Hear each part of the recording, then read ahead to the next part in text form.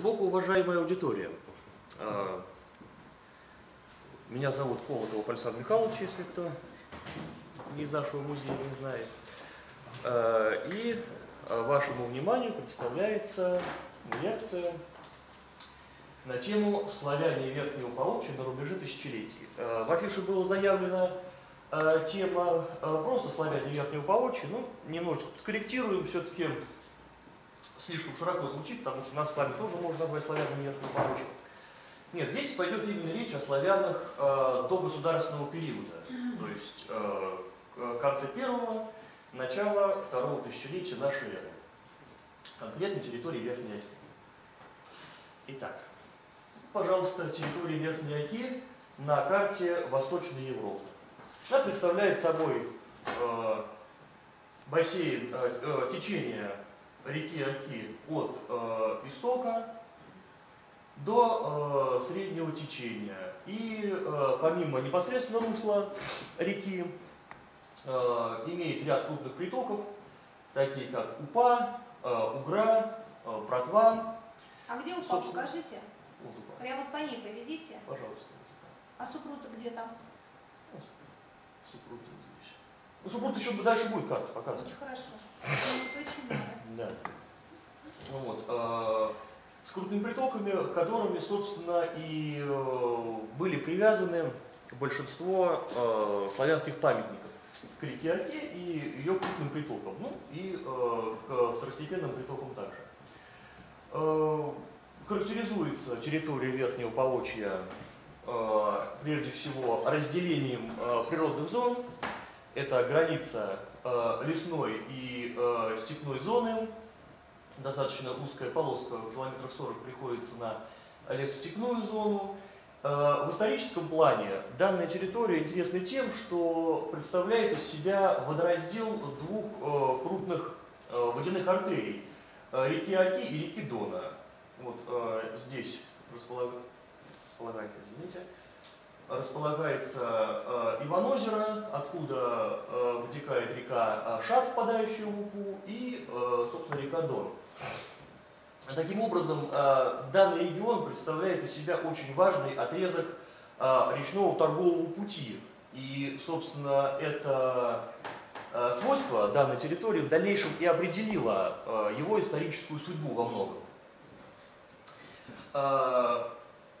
Непосредственно в рассматриваемый нами период произошло весьма крупное, интересное и важное для всей последующей российской истории события, так называемая славянская колонизация данной территории. Славянская колонизация Верхней Оки. Славянская колонизация Верхней Оки происходила не в один прием, а в два приема. С одной стороны, сначала это период э, конца 8 начала 9 века по середину 10 века, так называемый первый период славянской колонизации. И э, после этого второй период славянской колонизации э, происходил уже, когда э, происходило присоединение этих территорий к древнерусскому государству. Когда мы говорим о первом периоде, непосредственно нас э, в данном докладе лекции интересующем, э, мы говорим о так называемой э, роменской археологической культуре славяне данного периода являлись носителями роменской археологической культуры. А летописные сведения о э, представителях этой культуры весьма скудны. Наверняка э, все помнят эту э, еще со школы, с уроков истории, строчку из повести временных лет. А Вятичи, Радимичи и Северо, один обычай мяху, в лесах живяху, едаще всякое нечистое, а же и всякие звери, срамословия и мяху перед, пред отцы и так далее. То есть вот эти три племени, а, Радими, Тевячки и Северяне, собственно, и являются а, носителями а, так называемой роменской археологической культуры. Роменская археологическая культура до IX века для нашей территории не была характерна. Памятников этой культуры на нашей территории нет. Появляются же наиболее ранние памятники 8 века данной культуры на территории Днепровского левобережья. Днепровского левобережья, вот оно располагается. Это э, левый берег э, Днепра с крупными притоками э, Десна, э, Сейм. Сейчас это территория э, Черниговской губернии, э, Сумской, э, на территории Украины и частично России. Непосредственно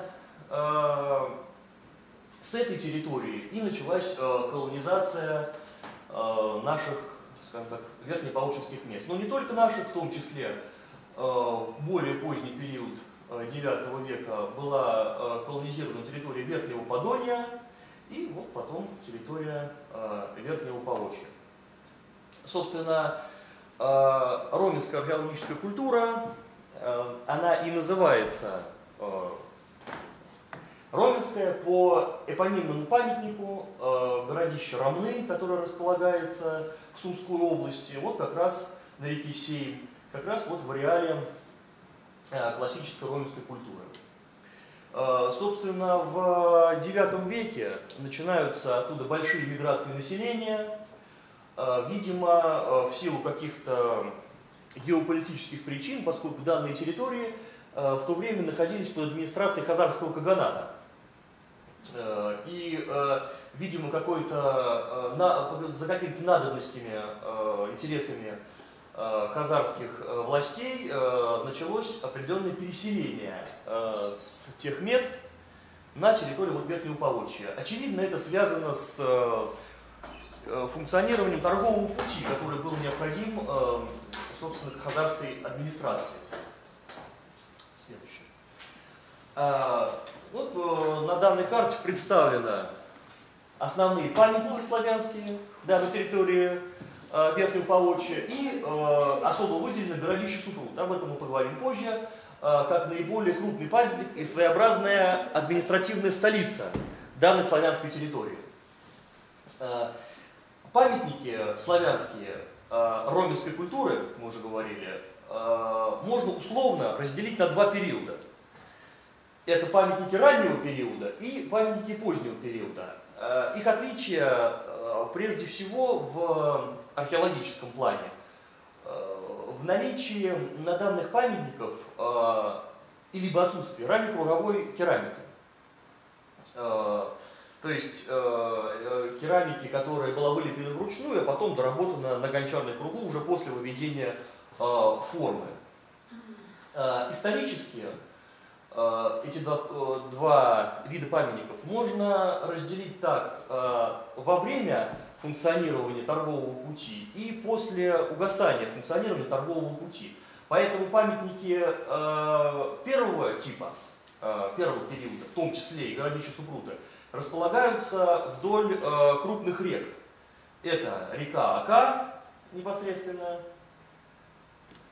река Ака, сейчас река Ака и река Упа.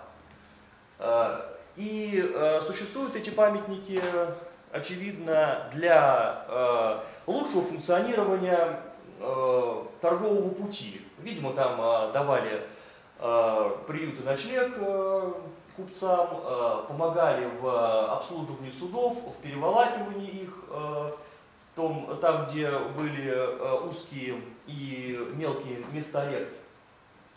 Памятники же второго, более позднего периода, они же располагаются по мелким притокам э, рек.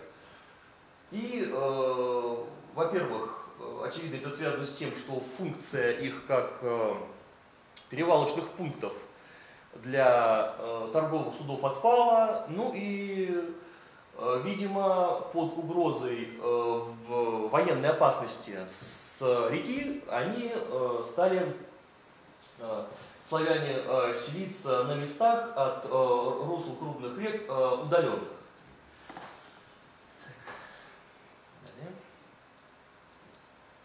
Следует сказать э, несколько слов о, э, скажем так, характере памятников.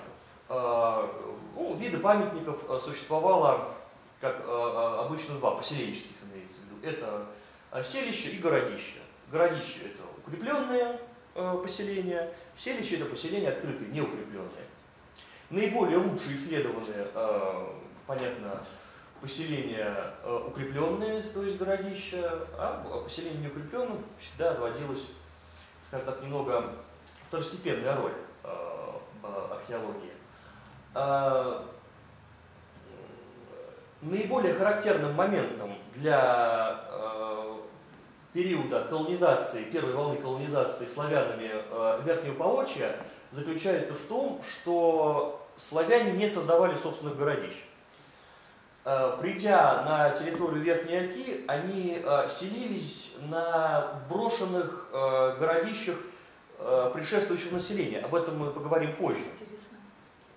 И собственно, продолжали жить на этих поселениях, и никаких э, ремонтных работ по возведению укреплений или дополнительных укреплений они не проводили.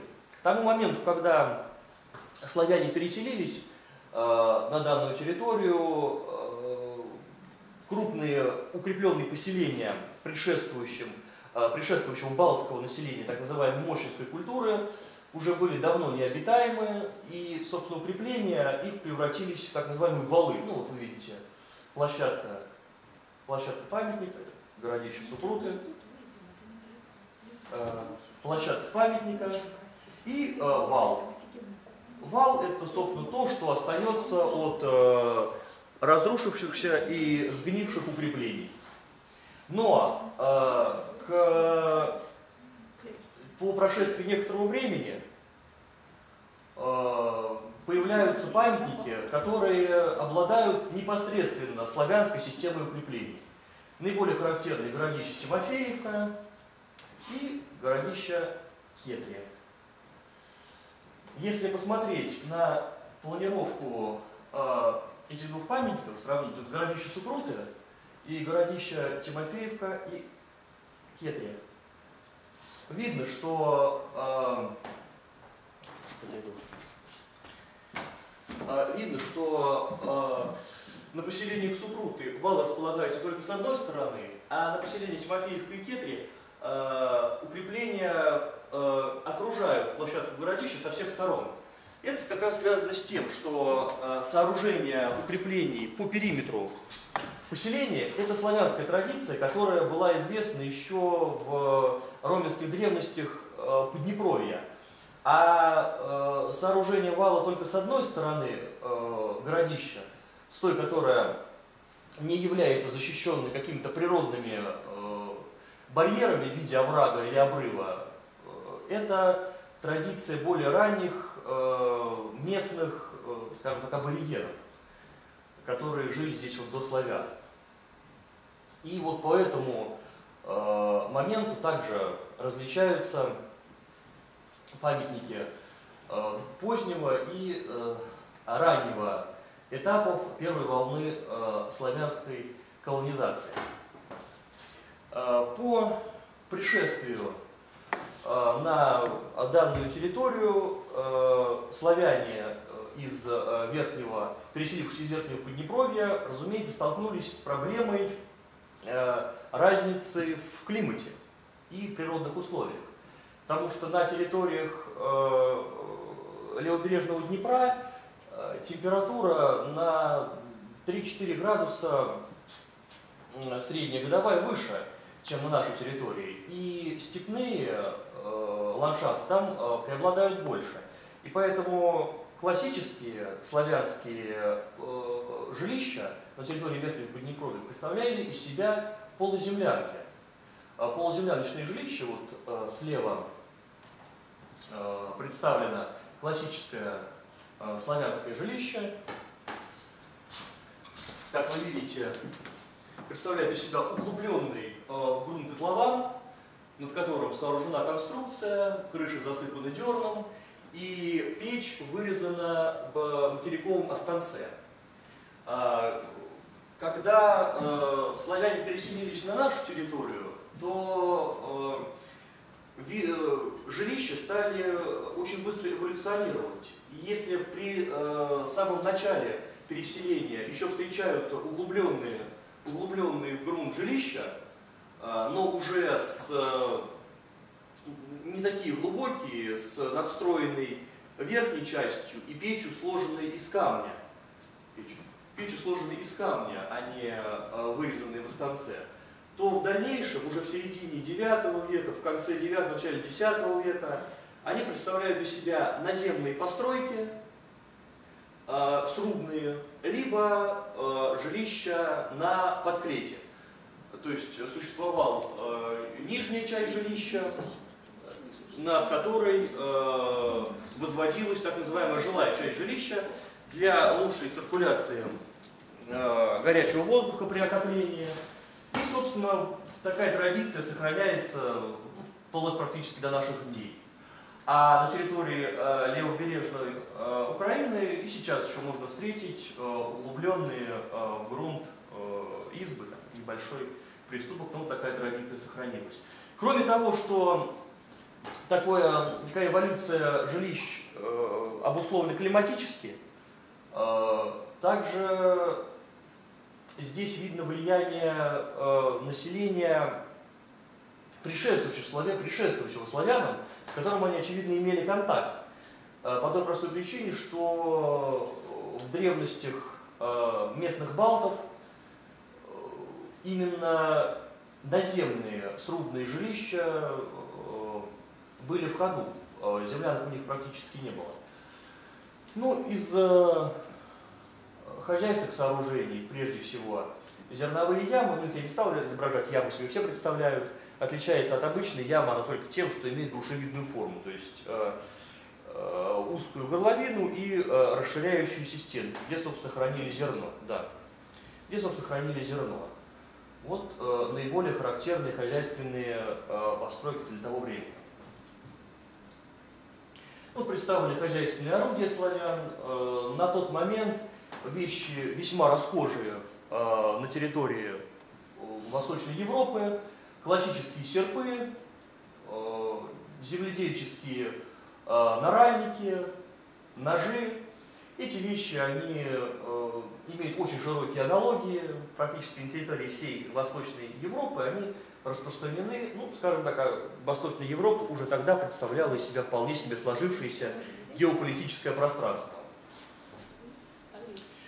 Элементы конской упряжи, э, найденные на славянских памятниках, э, имеют аналогии скорее в степных древностях больше, потому что всадничество не было распространено на, среди славян, и э, связаны подобные находки больше существованием некой военной дружины на территории а, и а, вещи, которые непосредственно с этим связаны, стремена, а, псали, в пряжки упряжные, они имеют степное происхождение и, скажем так, заимствовались от кочевых народов славянами. Предметы вооружения чаще всего шире всего представлены э, топорами железными, которые имеют, разумеется, двоякое назначение, и как э, боевые, э, как оружие, и как э, бытовые предметы, необходимые в строительстве, наконечники стрел, которые также имеют весьма широкие аналогии в древностях э, Восточной Европы. Ну, копья э, распространены очень слабо на территории э, Верхнего Поволчья. И вообще славяне копии использовали, того периода копии использовали мало, во всяком случае находок э, немного, только вот э, на, а, а, буквально два наконечника копья было обнаружено на территории Верхнего Поволчья славянских. Э, украшения, э, да, украшения представленные э, прежде всего, самое распространенное украшение это серьги. Указка сломалась, поэтому я подойду. Это э, самые расхожие, это банальные э, серьги, сделанные из проволоки, которые, в общем-то, не имеют никакой половой идентификации, поскольку были обнаружены и на мужских костяках, и на женских, фотографических супруты в том числе. Имеют также весьма широкие аналогии браслеты проволочные, которые э, имеют аналогии в северных культурах, особенно в скандинавских. Трапециевидные привески, которые заимствованы из финно-угорских древностей славянами, бубенчики, которые имеют салто-маяцкое происхождение, то есть хазарское. Вот. Э,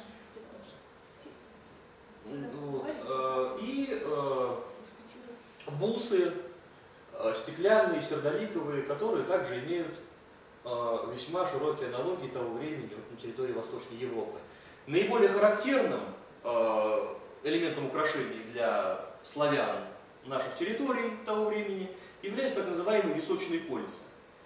Много споров идет относительно их назначение, как, собственно, их применяли и носили в костюме, ну вот а большинство исследователей сходятся на том, что все-таки они представляют из себя серьги.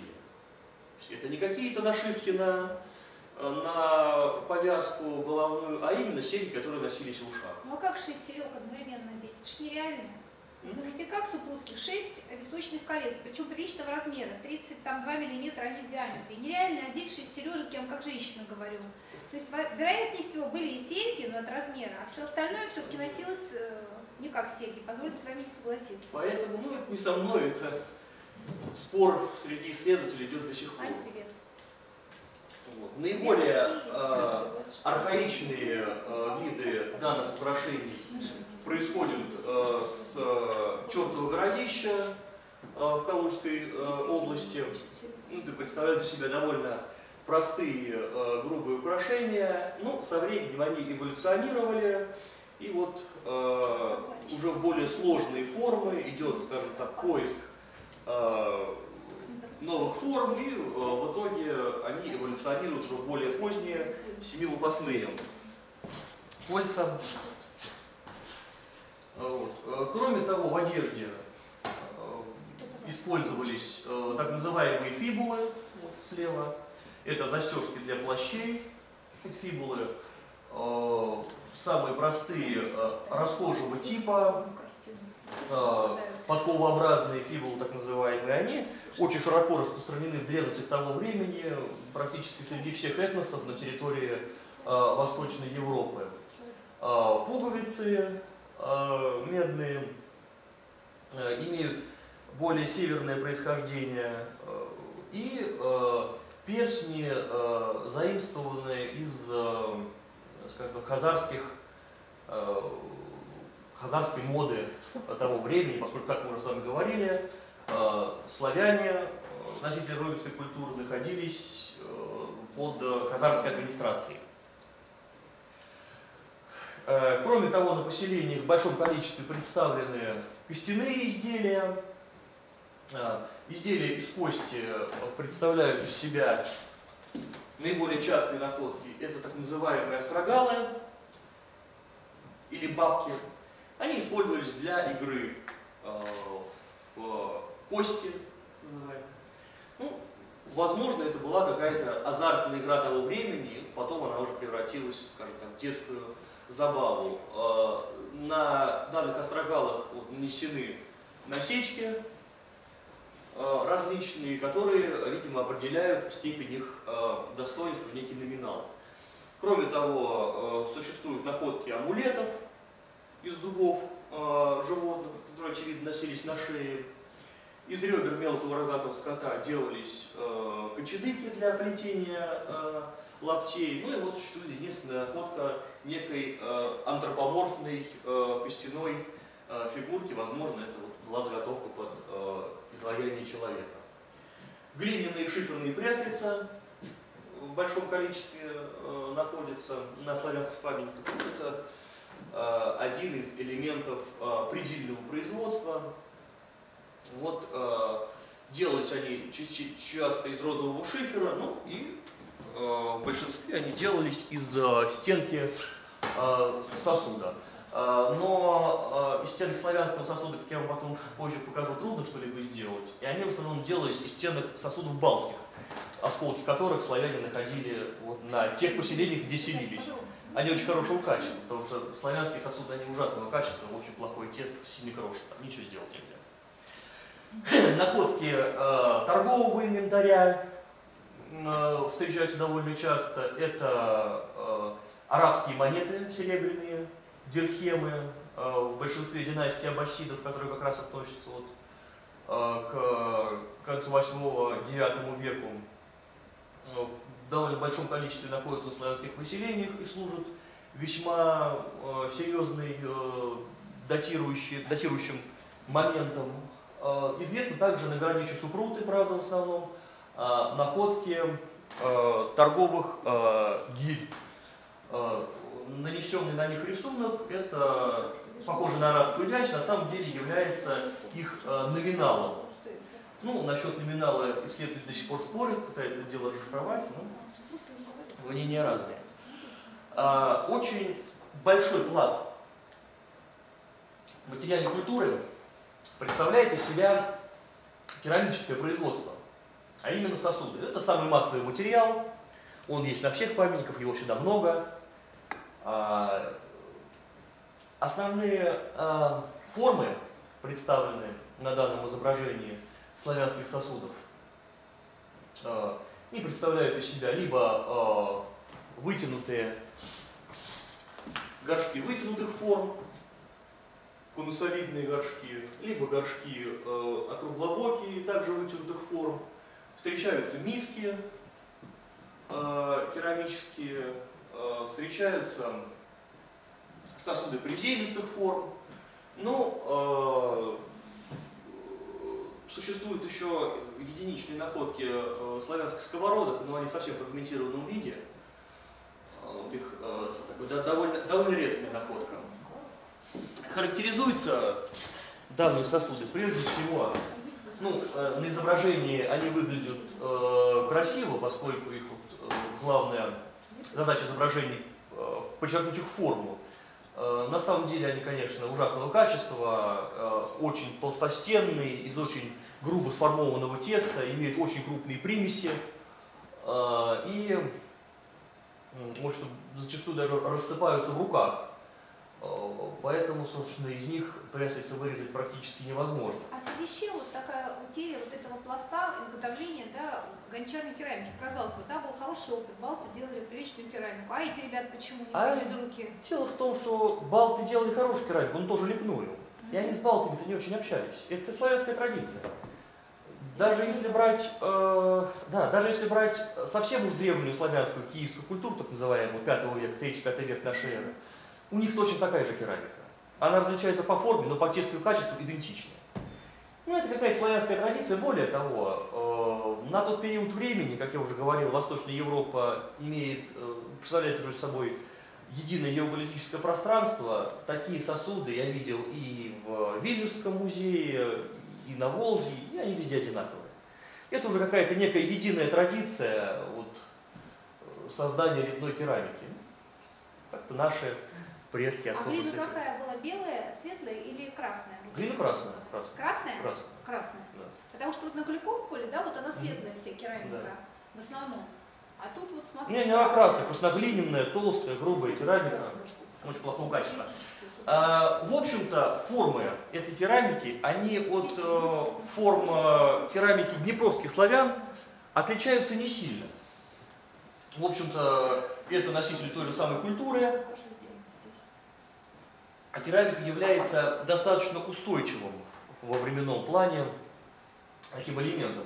Но э, одно очень важное отличие есть в орнаментации.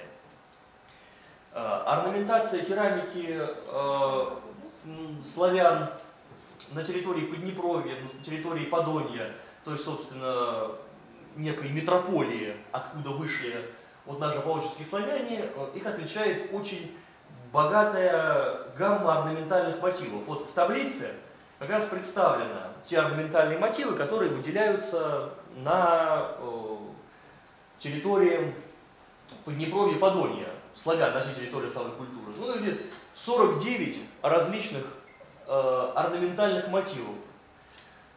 Когда славяне появляются на нашей территории, здесь э, культурная орнаментация керамики очень резко приходит в упадок.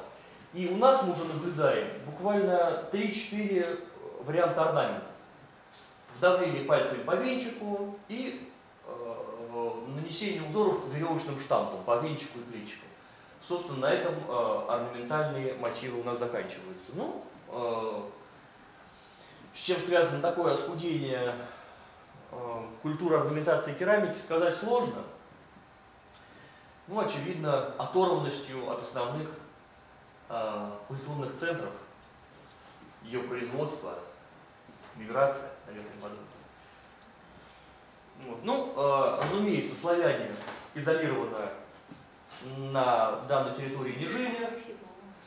Э, да, э, разумеется, они имели контакты с другими культурами, с другим населением. Это вот выражается в находках на славянских памятниках э, различных иноэтничных следов материальной культуры. Здесь представлена находка яйцевидной фибулы, браслета, Э, крюка э, бронзового в виде головы дракона, держателя для э, удил. Эти вещи характерны для скандинавской древности. И на данную территорию они попали, очевидно, в виде либо торгового обмена, либо каких-то вот подобных вещей, но скандинавского населения здесь не было, потому что более никаких э, следов э, скандинавских э, поселений здесь нет. Ни керамики, ни каких-то массовых выпадений в слой находок того времени. То есть это какие-то единичные находки, вот связанные с импортом, связанные с торговлей. Кроме того, на памятниках в довольно приличном количестве, в том числе и в славянских постройках, находятся справа фрагменты амфорной керамики хазарской. А, но, опять же, это говорит не о том, что хазары жили здесь совместно с славянами, потому что а, комплексов и построек, заполненных чисто хазарской керамикой, нет. Да и повседневной казахской керамики не, находок практически нету, единицы. Это в основном находки керамики, э, как сказать, в общем, парадной. То есть очень хорошего качества, э, которая и в самом э, казахском Каганате была, скажем так, не на каждый день и не у всех.